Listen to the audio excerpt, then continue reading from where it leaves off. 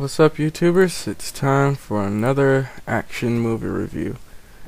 Today, I'm going to review Night Watch. It's a Russian action fantasy thriller, and it was released in 2004.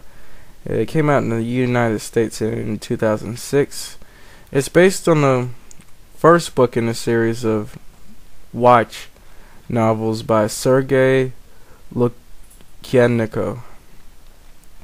It was directed by Timur Bekmambetov. I'm sorry if I pronounced their names wrong. I'm sorry. And um, basically, the the plot centers around a ever never ending battle between good and evil. Excuse me. The conflict is between two opposing forces uh, a group lumped together called the Others. The Others are people who have unique supernatural abilities.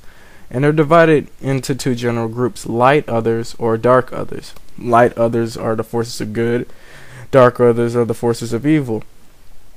A long time ago, they had a war, but too many of them were getting killed. So they created the truce. The truce is that there would be, no longer be a war, but they would there would be checks and balances. In other words, they would they would watch each other to make sure that the truce isn't broken, to keep to keep the balance, basically. And so they created the watches. Night watch is the light others who walk around at night to make sure the dark others don't break the truce. And day watch is to maintain the balance during the day. And the and basically they supposedly keep the balance. The movie centers around a guy named Anton who tries to make a pact with a witch to get back his wife who had left him and is pregnant, supposedly with another man's child. In the course of her doing the spell, it's revealed she's a dark other. A group of night watchers stop her. During this, uh, Anton goes into this realm called the gloom or twilight which only others can go to. Usually they go this go there during the first time where they discover their supernatural abilities. Unlike the book where he's a, a magician, in the movie he's simply described as a seer. After this experience, he becomes part of Night Watch reluctantly. And during the first moments of the movie, he's drinking blood so he can track vampires. If if he you know takes up vampirism, he'll help track vampires, who are, of course, part of the Dark Others. In the process, he rescues this young boy named Igor from these two vampires and he kills one of them. Now, use of deadly force is also forbidden if you kill an other that breaks the balance. So therefore, the dark, the Day Watcher trying to help the female vampire that wasn't killed try to eat the little boy. And later on, they find out the little boy is an other. But I don't want to give too much of the plot away. I'll just let you guys watch it. At first, I saw movie posters for this, and um, I I really didn't hear anything about it. But I've recently checked the video out from my local library. I have to say, I was pretty impressed by it. Uh, it I have never seen any Russian films until this one, and I have to say, this is really awesome. I wish they would bring more Russian film to the United States. Like I said before, is um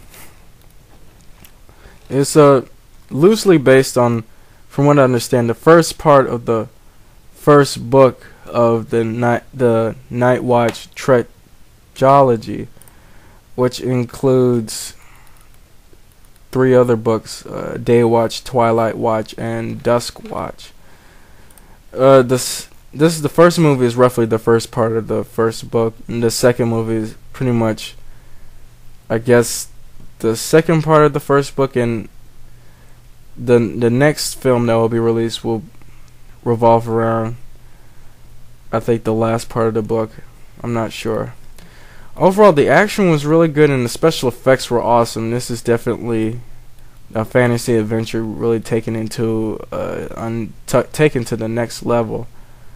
Um, there's even a nod to American fans for the American release where the little boy's watching TV if uh, they show a Russian dubbed version, a brief clip of the Buffy versus Dracula episode of Buffy the Vampire Slayer, and he he knows the vamp.